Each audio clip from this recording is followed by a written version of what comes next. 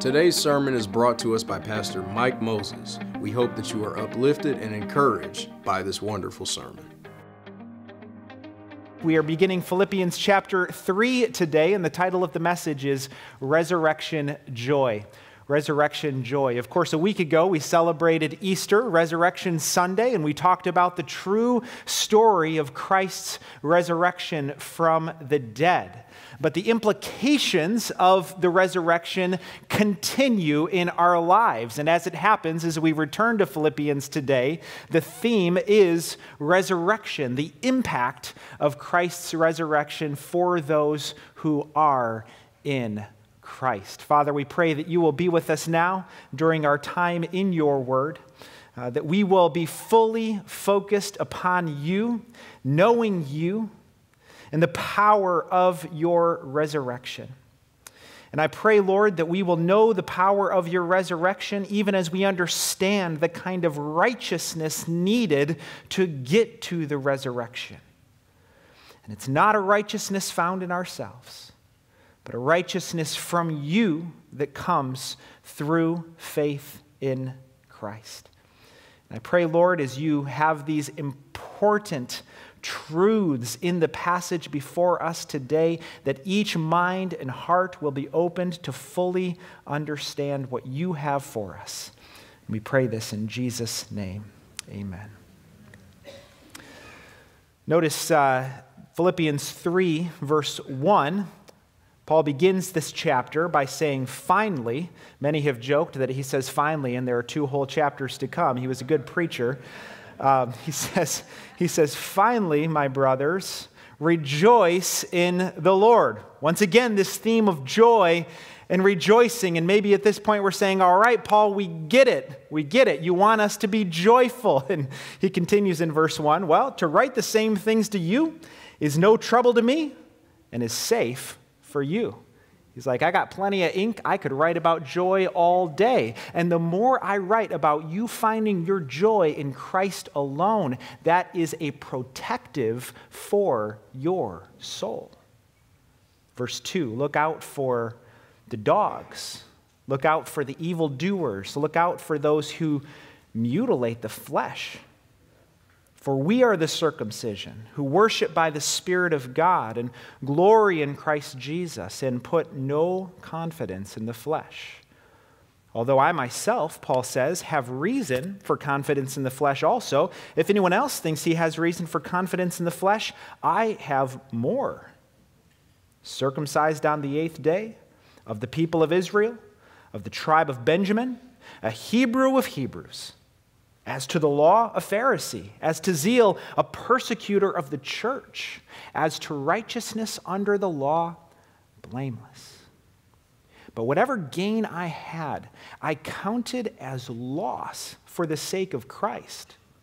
Indeed, I count everything as loss because of the surpassing worth of knowing Christ Jesus my Lord for his sake, I have suffered the loss of all things and count them as rubbish, in order that I may gain Christ and be found in him, not having a righteousness of my own that comes from the law, but that which comes through faith in Christ, the righteousness from God that depends on faith, that I may know him and the power of his resurrection and may share his sufferings, becoming like him in his death, that by any means possible I may attain the resurrection from the dead.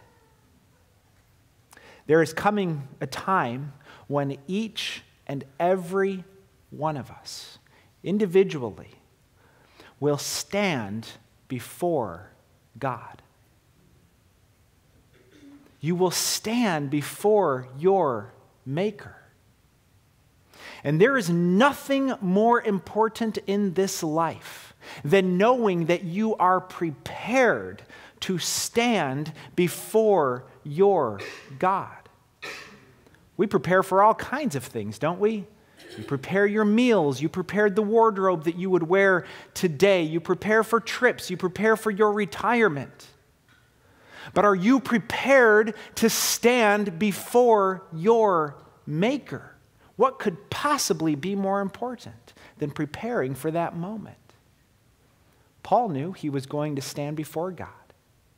And he says in verse 9 of this text, I don't want to stand before God with a rubbish righteousness that is produced by me through keeping of the law. I want to stand before God with a resurrection kind of righteousness, the kind that is produced by God, available through faith in Jesus.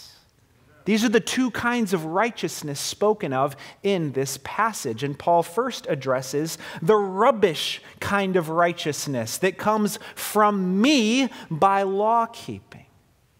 Paul got pretty fired up about a heresy that was threatening the early church, not only the church in Philippi, but all the churches of that day. It was a threat to the purity of the gospel that was coming from a group called the Judaizers. They were also known as the circumcision party. You say, circumcision party? That, that sounds like a really lame party. and, and yes, Yes, it was. It was a very lame party. They were detracting from the purity of the gospel of Jesus. Now we know that in the Old Covenant, God did require his people to be circumcised. It was very clear that God wanted all Jewish males, as well as converts from other nations, to be circumcised.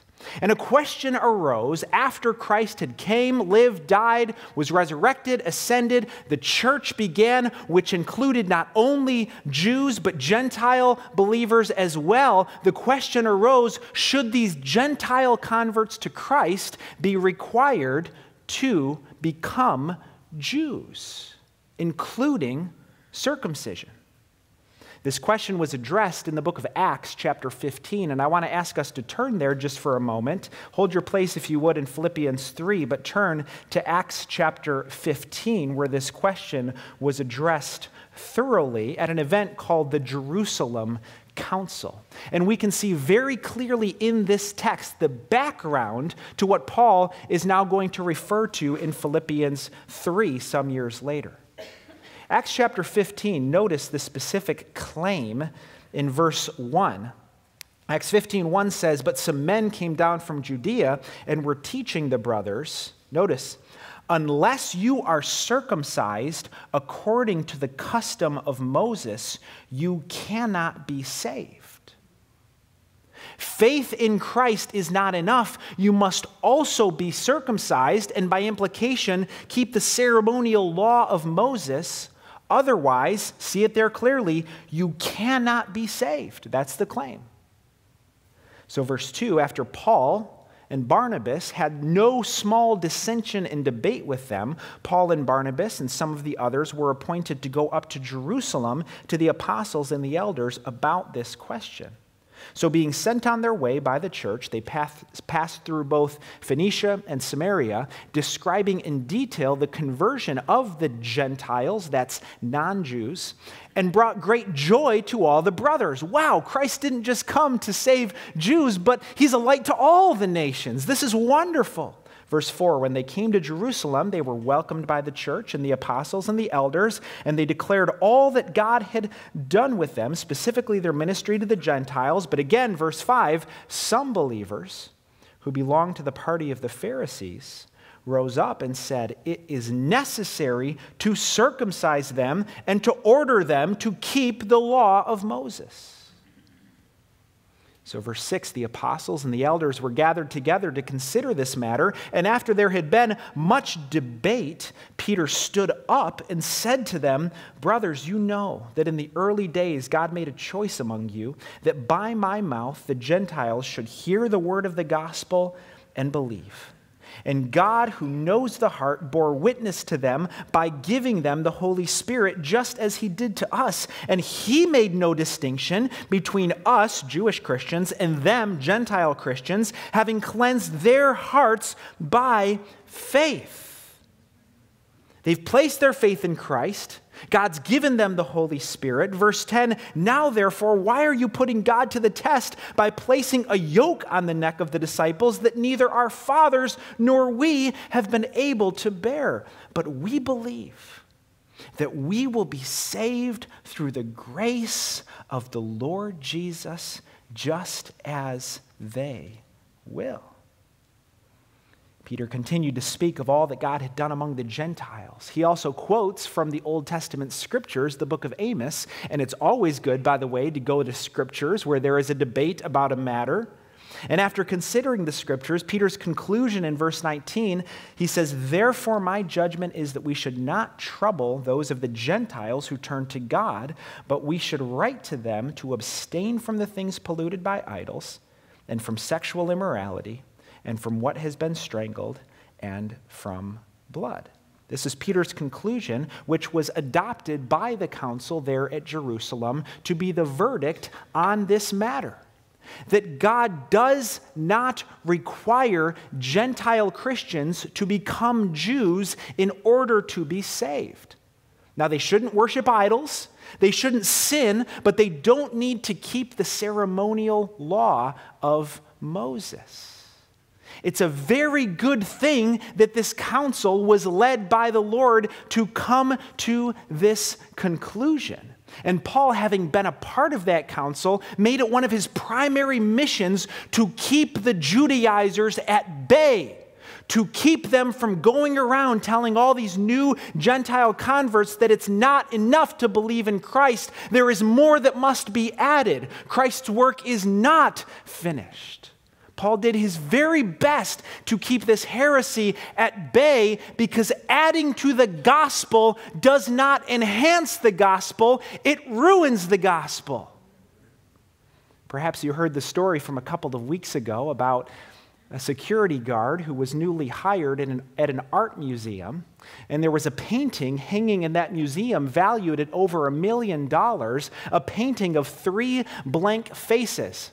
And this security guard, on his first day of the job, being bored in the middle of the night and maybe sleep deprived as well, decided to take out a pen, I'm not making this up, and draw faces on those blank faces of that million dollar painting. Now, needless to say, he lost his job because adding to that painting didn't enhance the painting, it ruined the painting. And Paul knew that adding anything to the gospel does not enhance the gospel, it ruins the gospel. And so, just as he had warned the churches in Galatia, just as he had warned the churches in his letter to Rome, now he warns the Philippian church beware of the circumcision party. Again, notice verse 2, he says, Look out for the dogs. Now, some of you didn't know this was in Scripture. You're like, I've seen signs saying, Beware of dog on backyard fences. I didn't know that was a quote from the Bible. It is.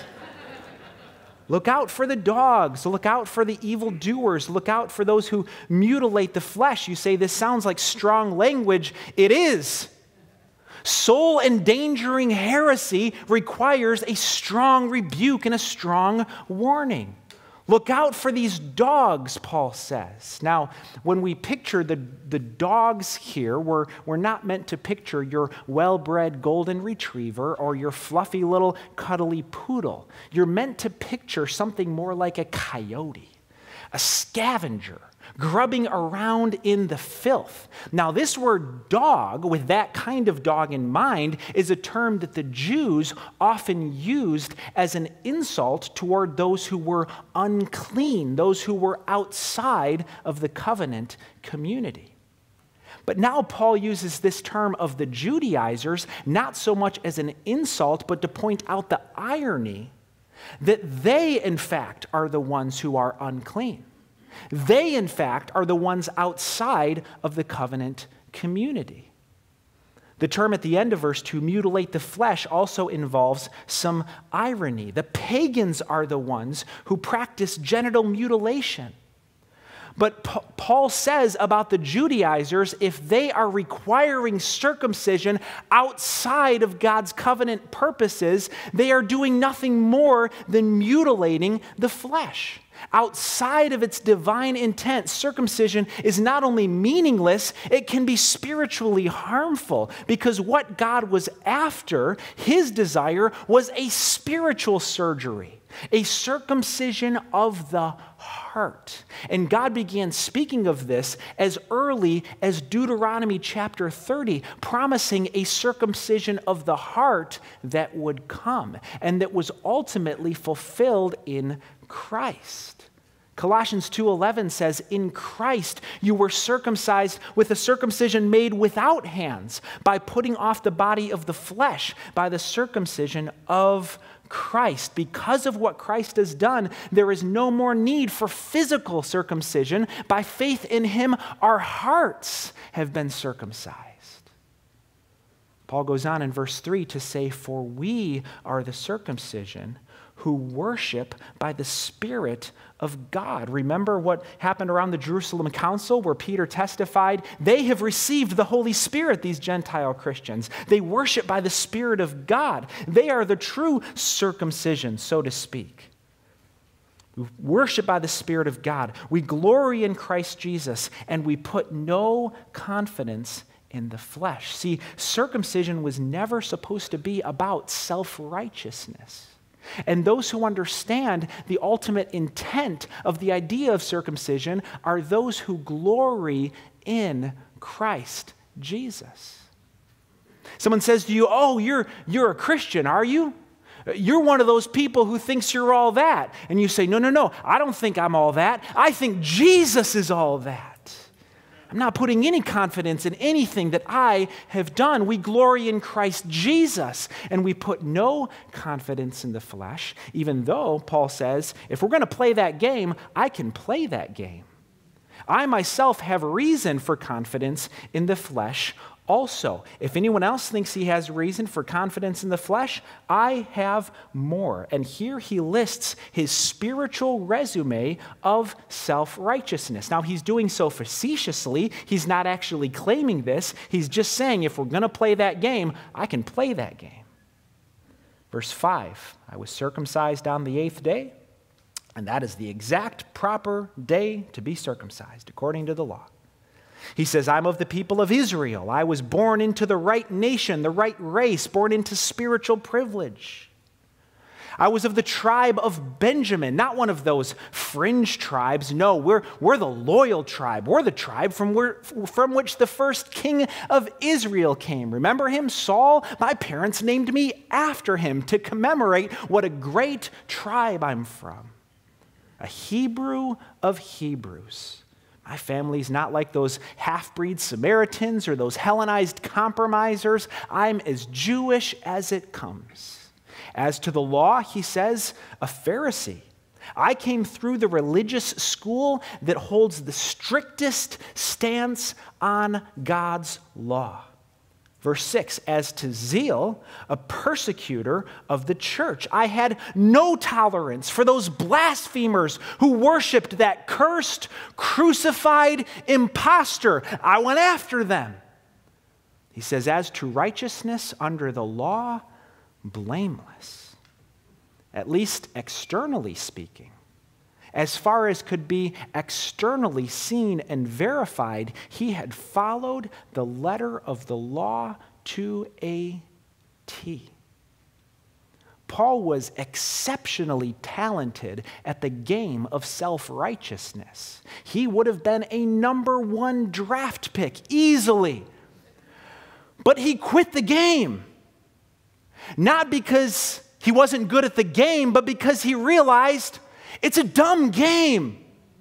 The game of self righteousness gets you nowhere. It does not cause you to stand before God acceptable in His sight. What's on your spiritual resume? You say, Well, Pastor Mike, I was born in a Christian family. I was born in a country with a Christian heritage. I grew up in the church, and that's great. Thank God for all those privileges, but none of those things will get you into heaven. You say, Well, I, I read my Bible and I pray sometimes and I, I come to church. I'm even memorizing some verses because you're making me memorize these verses. And all those things are great, but none of those things will get you into heaven. And this is why Paul says in verse 7 whatever gain I had, notice, I counted as loss for the sake of Christ. Some of you work in banking and finance. He says, I thought those were credits, they were actually debits.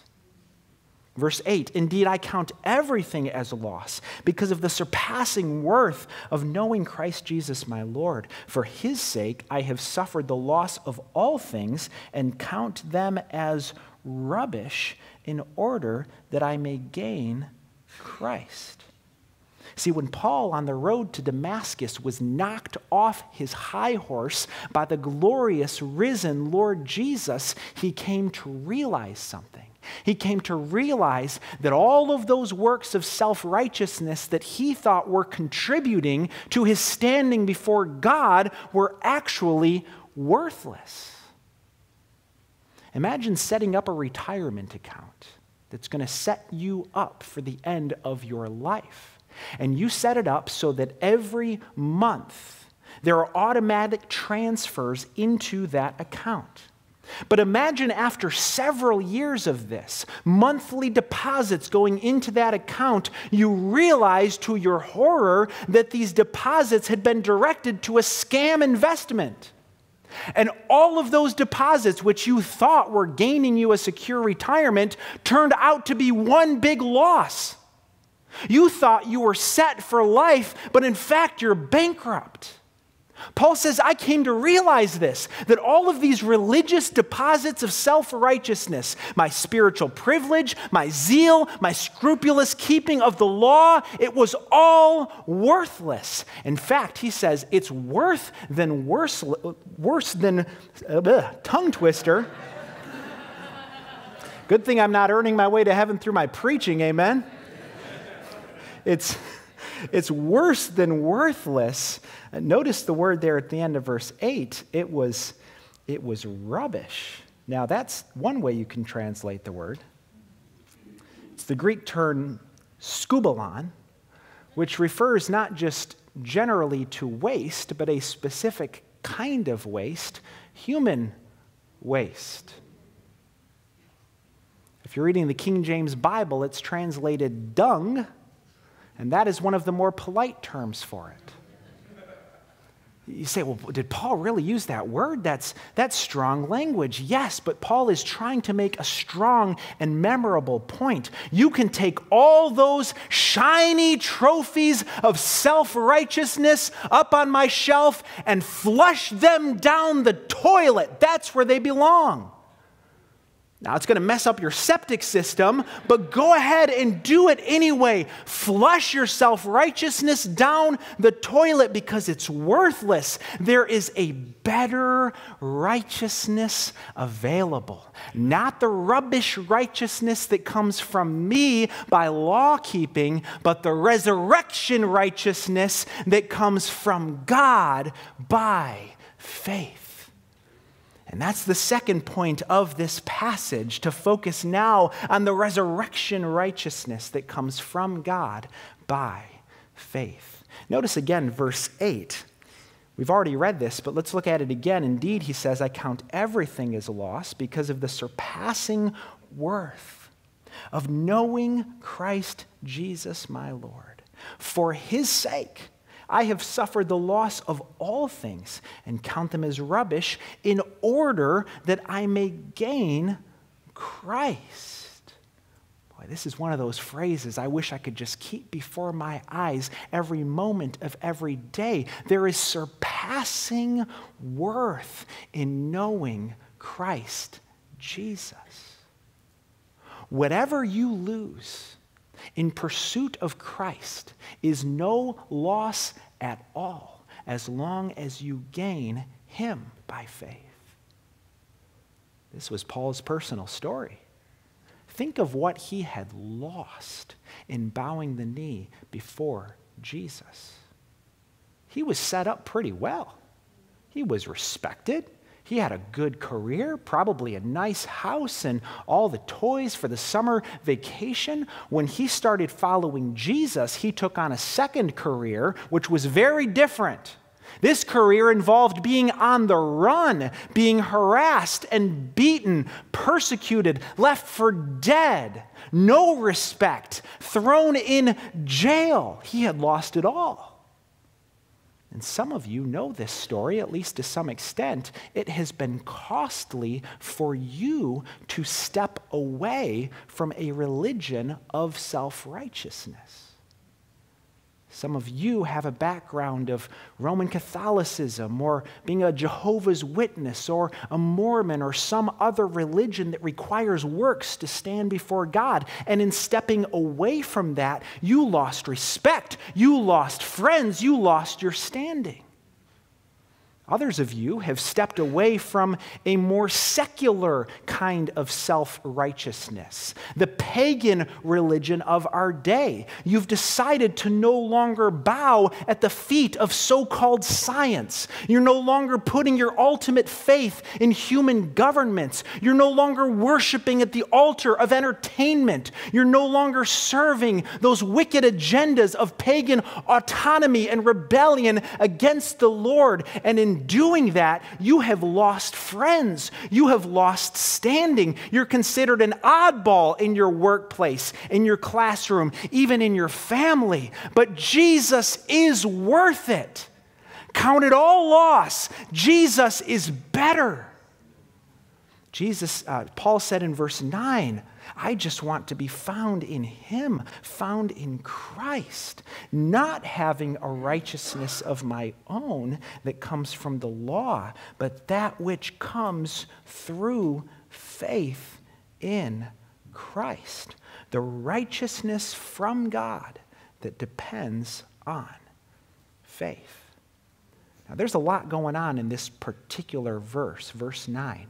It is a verse packed with doctrine that matters for eternity. I think we can take a little bit of time to wrestle with some multisyllabic terms and complex concepts in order to know that our eternity is secure. Is that a good trade off? See, this verse is a very important one when it comes to our understanding of the doctrine of justification. Justification has to do with righteousness, and in particular, having a righteousness that God accepts. Many of you have heard the name Martin Luther. He famously stated that justification is the doctrine that determines whether a church stands or falls. Justification is not God making me more righteous. That's sanctification. That's a different category. Justification is God declaring me righteous. You say, well, how can God declare me righteous? He'd have to be blind to declare me righteous. I know the stuff I've done. Well, no, notice again in verse 9, Paul says, This is not a righteousness of my own that comes from the law. Now, hypothetically, you could obey the law perfectly, externally and internally, and earn your way to heaven, but none of us have done that. See, the problem is not with the law of God. The law of God reflects God's holy and righteous character. The problem is with us. We can't match God's holy and righteous character. This is why Paul writes in another passage, Romans 3, that by the works of the law, no human being will be justified in his sight. Why? Because all have sinned and fall short of the glory of God. I hope we recognize, even though many falsely believe this, that God does not grade on a curve. Many think this way, don't they? Oh, God will accept me because I'm a little bit nicer than my neighbor. God does not grade on a curve. Perfection is the standard. And so God cannot declare us righteous based on our works. There's a wonderful story that Jesus told, and in fact, I'll, I'll ask you to turn there Really important story in Luke chapter 18. I know I've got you turning a lot today, but I want you to see this for yourself and not take my word for it. Luke chapter 18. Jesus told the story of two men who went up into the temple to pray. This was a common thing that would have happened at this time, something observable to the people that Jesus was speaking to. And these two men, Jesus says in Luke 18, verse 10, one was a Pharisee and the other was a tax collector. Now, if you think you don't like the IRS, back in this day, they were even more corrupt. So, one, a scrupulous keeper of the law, knowing God's word inside and out, the other one, a corrupt tax collector. Jesus says in verse 11, the Pharisee, standing by himself, prayed this way God, I thank you that I am not like other men, perhaps even gesturing toward the tax collector, extortioners, unjust adulterers, or even like this tax collector. I fast twice a week. I give tithes of all that I get. That was his spiritual resume. And notice that even though we can, we can sense the pride in these words, notice that he technically gives God credit for helping him with his righteousness. He says, God, I thank you for infusing this righteousness into me, which I can act out and thereby stand before you. But it was still his own righteousness that comes from the law, the kind of righteousness that is not good enough to bring before a holy God. Notice the contrast in verse 13, but the tax collector, standing far off, would not even lift up his eyes to heaven, but beat his breast, saying, God be merciful to me, a sinner. Now, which one was justified? Jesus tells us very plainly in verse 14 I tell you, this man, the tax collector, the extortioner, went down to his house justified, not in the process of being justified, justified fully, rather than the other, the Pharisee. The man who was justified instantly was not the man who proudly declared his spiritual resume, but the man who humbly cried to God for mercy. As we turn back to Philippians chapter 3, we see that this kind of righteousness, the righteousness that comes from God, notice again Philippians 3, verse 9, is the righteousness from God that depends on faith. Do you believe? That's the only question that matters. Do you believe? I have to imagine that one of the members of this church at Philippi, the jailer, might have thought back to a conversation he had had with Paul and Silas about 10 years earlier as he fell trembling before Paul and Silas, and he asked, Sirs, what must I do to be saved? Paul and Silas responded, Believe in the Lord Jesus Christ, and you will be saved. This righteousness from God is by faith, and it is a righteousness from God, not a righteousness that God helps you earn, but a perfect righteousness that was earned by Jesus. Amen. Jesus, the only man who lived a perfect life, externally and internally. The only one who ever did it. As Jesus hung on the cross, there was a great exchange with the, which the prophet Isaiah had prophesied in Isaiah 53 11. The righteous one, God says, My servant shall make many to be accounted righteousness, and he shall bear their iniquities. Believer, here is what happened at the cross. The guilt of your sin was placed on him, and he took your punishment. But not only that, the perfect righteousness of Jesus has now been placed upon you, giving you access to a holy God. Believer, be encouraged by this today. You are not in the process of being justified, you have been justified. God sees you right now, clothed in the perfect righteousness of His Son. You know that you are a long way from being practically perfect. Your spouse knows that very well but you are already positionally perfect, not having a righteousness of your own that comes from the law, but that which comes through faith in Christ, the righteousness from God. And this true doctrine of justification is what makes biblical Christianity utterly unique when it comes to world religions. Every other faith begins by saying, do, D O. Do this, do that, do this ceremony, jump through this hoop, earn this much righteousness, do these things, and then you can make your way to God or nirvana or whatever it may be. Biblical Christianity is completely different.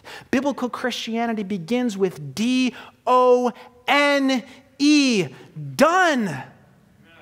It's been done. The perfect righteousness has already been earned. You begin by accessing that by faith. And afterward comes the doing, not because you're earning, but because you are in the family of God with new life through the Holy Spirit. But we never claim those things that happen after our justification. We continue to claim that and only that when we stand before the Lord. When you reach the gates of glory, if you are with Christ, they'll let you in. Paul said, I want to be found in Christ. It's the only way to get through. A few weeks ago, we took our family down to a, a large indoor water park in southern Indiana.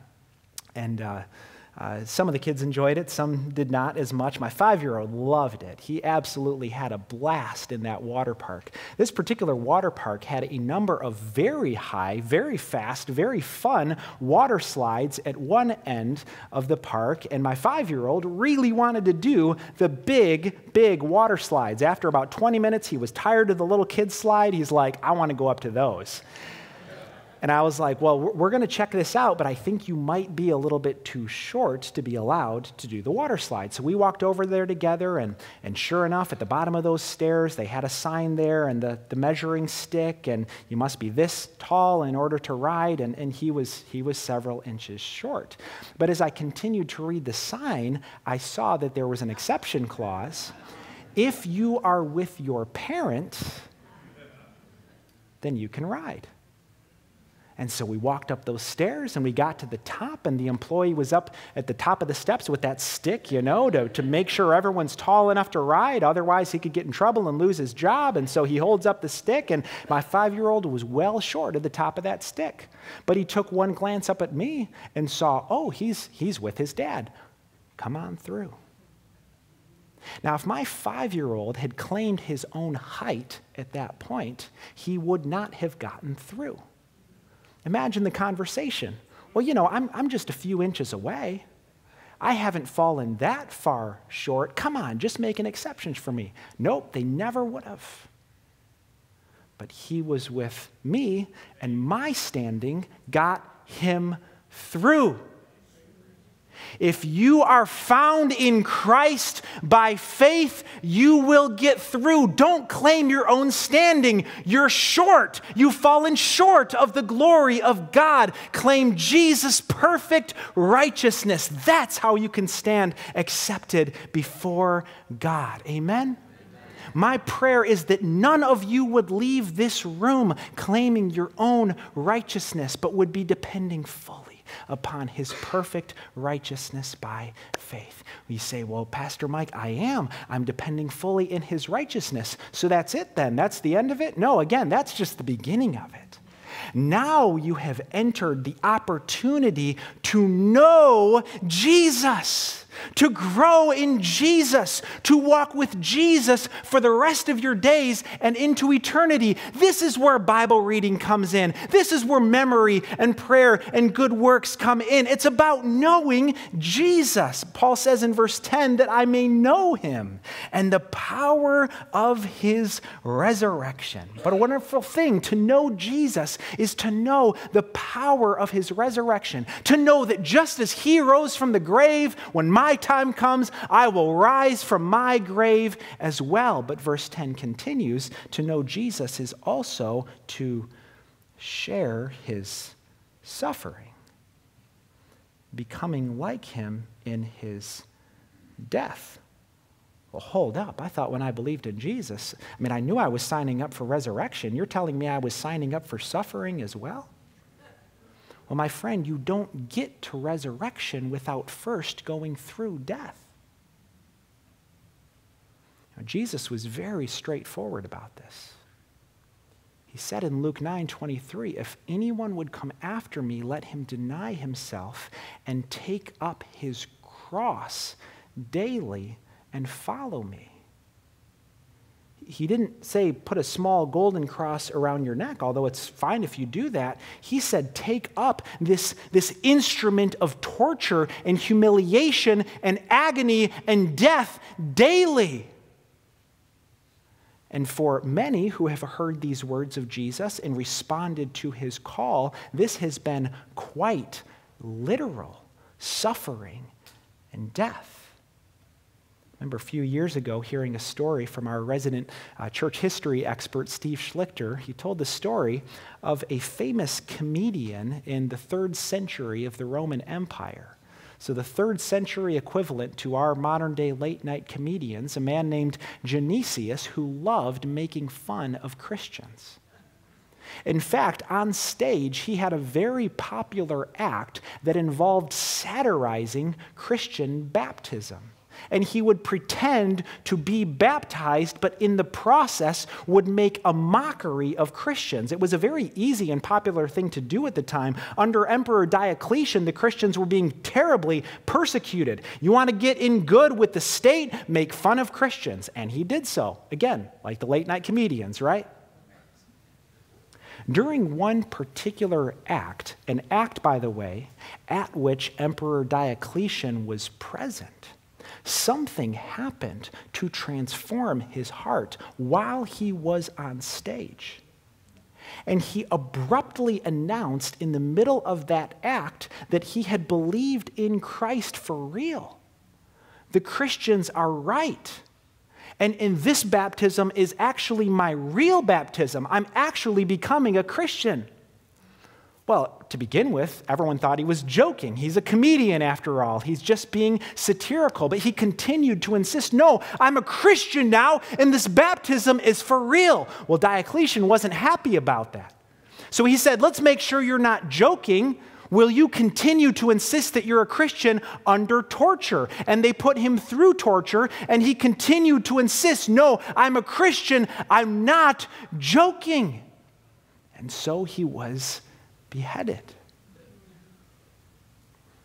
And this was not uncommon in the early church or even in the modern church in particular places where it is quite dangerous to publicly profess your faith in Christ. Next week, we have a baptism class. In a few weeks, we'll be having a baptism service. I would love for every one of you who is a believer in Christ but who has not yet been baptized as a believer to come to the class next week and prepare to be baptized next month. You say, well, Mike, that's a terrible way to set it up. You just told me the story of someone who died after he was baptized. right, think about how easy you have it. And and, and look, I'm not making light of, of how difficult it can be to, to get up on a platform in front of people and share your testimony and get drenched in front of a room full of people. It's uncomfortable, but it's good for us to experience, even in some small way, that following Jesus and publicly identifying with him will be uncomfortable in some ways.